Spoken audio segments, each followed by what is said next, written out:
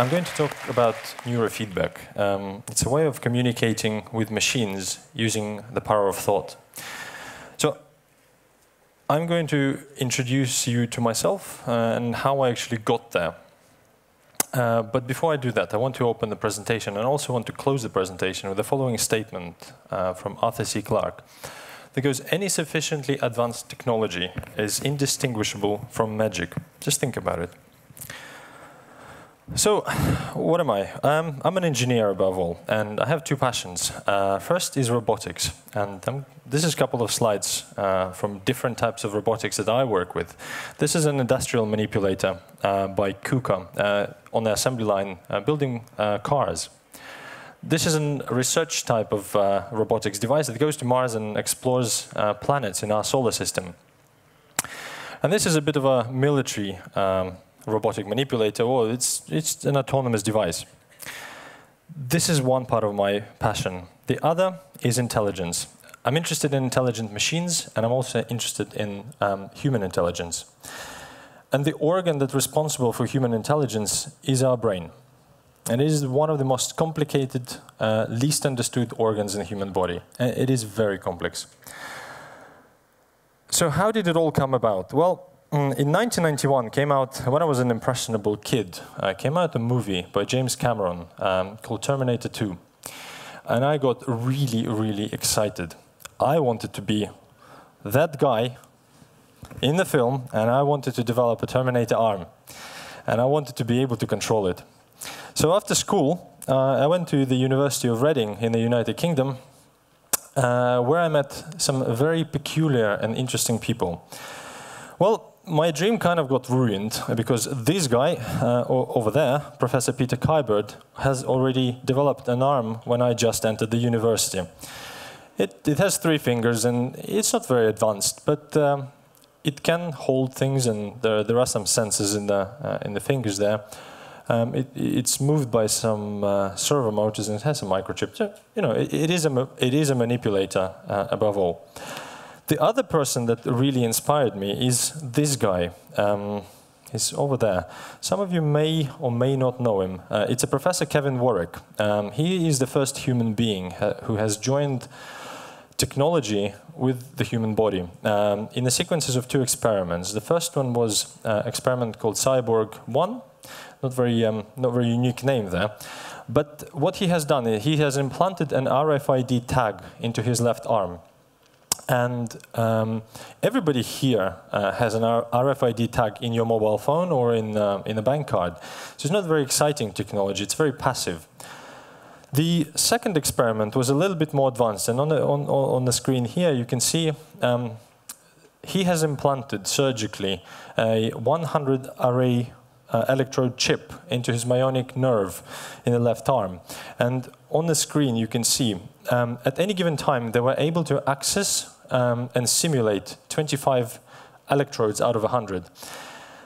So together with Peter Kyberd, um, Kevin has joined um, Peter's arm and his own body. Uh, and using his own body, his own electrical signals, he was able to control a robotic arm.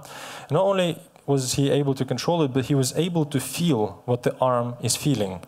So th this was the first two-way communication between the human body and the machine. And it, it, it really have got me thinking and thinking like, what, how can I expand the body? How can I develop technologies that will revolutionize the world? Straight after university, I went and worked on nuclear fusion devices. And I worked for a company called Oxford Technologies, and we developed robotic manipulators, this one, um, they go inside the nuclear fusion machine and performs um, maintenance work. They do cleaning, they do inspection, they do uh, welding, they do cutting. It's a very, it's a little bit like a, a hammer. it, it is, even though it is advanced, but it is very simple in, in the way how it works. And these manipulators, they date back to 1960s, uh, to Manhattan experiment. And back then, in those days, they only were mechanical. There was no electrical connections. But today, this is delivered on the 15 meter long snake manipulated, weighs tons and tons. And um, we have a, an operator sitting in the, in the control room, which I will show you a picture. The, this is an example. Th this is actually the reactor that I worked on uh, together with uh, my colleagues. Um, it's a big donut, and it's a hollow donut. And inside, um, those who, who say that, oh, we haven't achieved fusion, and you know, we, uh, no, we have. And we were able uh, to get the same reaction that's going on the sun, and we were able to achieve the temperatures 10 times the core of the sun. Here on Earth, we were able to defy, um, we were able to play God. We can get purer vacuum than space, and we can get temperatures hotter than the sun. So inside, inside the reactor, we were able to get to 150 million Celsius. Now, going back to um, synergy between human beings and machines, this is an example of, um, of an operator sitting there, and he has a machine, and he can see the other robot inside the manipulator. Kinematically, they are identical, and the controller, the operator, can feel exactly what the machine is feeling the weight, uh, the structure. Uh, he can't feel the, the temperature, but he shouldn't.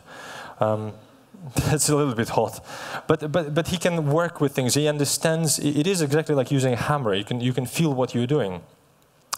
But the problem with this is you have a lot of cameras, and um, you have a 3D model as well. And if you're working, if you're trying to sort of to put uh, a nut and a bolt together, you need to move a camera. So you, you do a little bit, and then you let go of the manipulator, and you walk away, and you take the camera, and you sort of move it, and you use a joystick, and you adjust the light, and then you come back, and you grab hold of it, and do a little bit more, and then you go and do the same. It takes a very long time.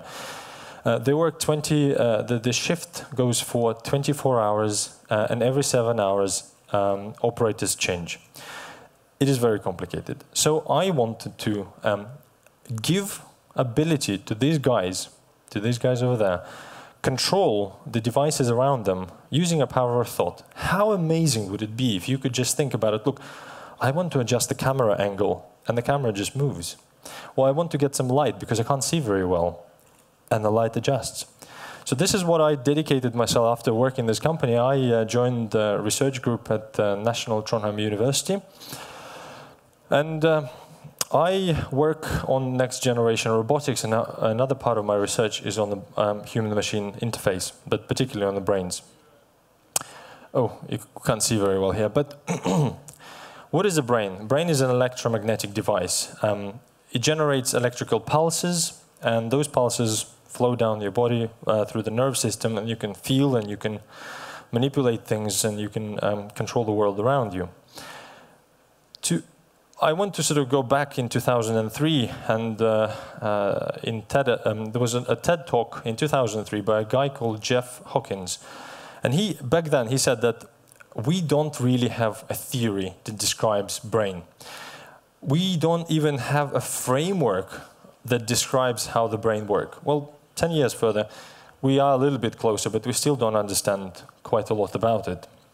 We don't know how the brain encodes the signal. We don't know how the information is really stored.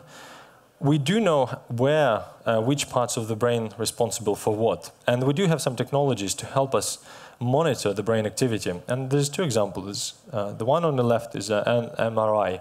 It allows us to take a picture of a brain activity at any given time.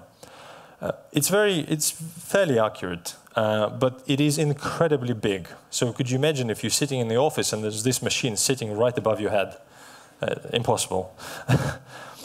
the other one is, um, is a little bit smaller, and it's an EEG cap, and some of you might have been in a hospital who had to do um, an um, EEG scan. It's a hat with a lot of electrodes and a lot of wires coming out. Now, if you can imagine, if I have to tell you that tomorrow when you come to your office, you have to wear it, and you have to wear it all day long, even when you go to the toilet, you're not going to do that, are you? No, I wouldn't. so um, I decided that, look, what we're going to do is we're going to go and try and buy uh, something that anybody can buy. And here in my hand, I have, uh, have a device uh, by um, uh, NeuroSky. It's called a MindWave, and it has one sensor here. Now, the problem with the brain, it has billions and billions of cells, and they all speak in slightly different language to each other. Uh, they operate a little bit differently, and they have their own um, areas of expertise. Now, imagine we are in a room like this, but a little bit bigger, and in that room is 60 billion people, so 10 times the people on Earth. And I'm standing with this microphone, and I want to hear what people right over there talking about. I want to, I want to really know what they're planning. You know, what, what are they talking about? So I take my microphone and try and listen, and everybody speaks at the same time. So it's just noise. Well, you can imagine it's pretty impossible. But given mathematics and given statistics, we can understand based upon the location where these people are. Are they planning to move an arm? Or are they responding to an external stimulus like a click or a flash? Or are they just storing memory or they're processing some other um, form of signals? So what I've done is we, we, done, we, we started doing these experiments and um, we use slightly different device to this one. Uh, it's by, new, um, by Emotiv. Uh, it has 14 sensors instead of one, so we a little bit, we have a little bit more microphones. Um, and you can't really see, unfortunately. There is a mani manipulator. It's like in the first slide. It's an industrial machine. Um, it's not very fast, but it's enough to, to sort of do some gluing, do some sewing. So we decided. So we started monitoring the brain signals, and um, brain signals are a little bit chaotic, but it's okay because there is order in chaos. You can find order in everything, but we need to know what we're looking for. So the, with all the um, neuroscientists and brain researchers, they identified certain signals that we can rely on as a way of controlling um, different sort of um, objects. And I'm going to show you some of them. So this is a readout from the 14 sensors that we have, and it's you can see it's just you know, very very small fluctuation in voltages. They you can't really make sense of it. But when you apply mathematics and uh, statistics and do a little bit of scientific transformation, which I'm really excited about, um, you can start seeing the order and the, the elements that we have focused on. Is this one is called the ERP. Um, when we uh, operate, when we communicate with the world, we build models. So I have a model of people, and I have a model of this, and I have a model of this in my head. And if something goes wrong, if I look at this and uh, it starts to hit me and it hurts me, in my brain I have a signal just like that one that goes, hey, something's going wrong. And we can detect this. So as an operator, operating on a nuclear fusion device, and we're doing some work, sometimes personal experience, we were building a manipulator and at 3 o'clock in the morning, uh, we were doing a final test to see if the manipulator operational and it's ready to, uh, to do work. My fault. Um, I come into the control uh, cubicle, I turn the system on, and I run the test. And at that moment, that manipulator accelerates and destroys itself. We had a, we had, my colleague was standing holding uh, his hand on electrical stop. But it, since it happened very, very fast, by the time he pressed stop, the manipulator destroyed itself.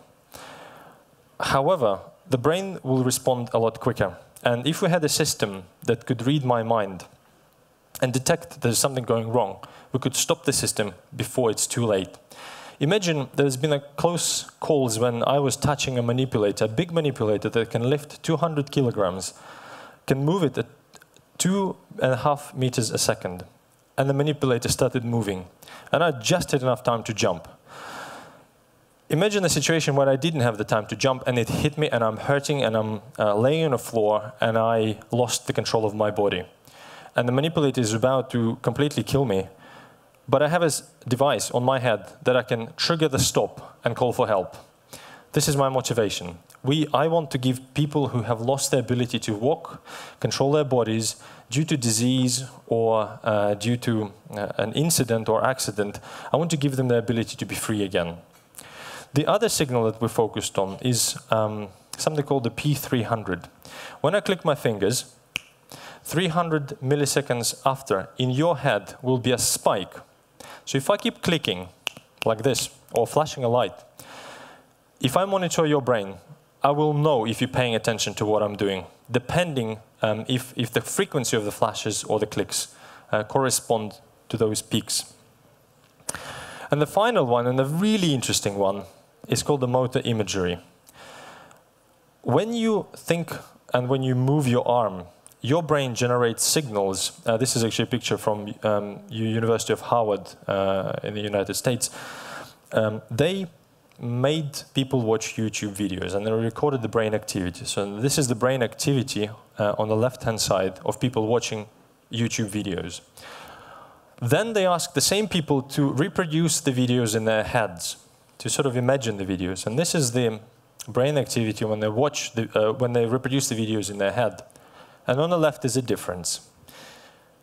Very little difference, if, if any. What it means that when you move your arm and when you think about moving your arm, the set of signals that generated by your brain is exactly the same. If we can intercept them and understand how it's encoded, we can control robotic manipulator to feed you, to give you water, uh, to, to open the door, to turn on the camera, uh, to, to, to start a car, to make you tea. And I, I want to close this speech, uh, the, the, this talk, with um, exactly the same statement as I opened it, and, but I just want to make a little adjustment. Any sufficiently advanced technology is indistinguishable from magic, and my correction is this. Is magic is only a small step away from the reality, and mathematics, science, and engineering will make that reality possible. Thank you very much.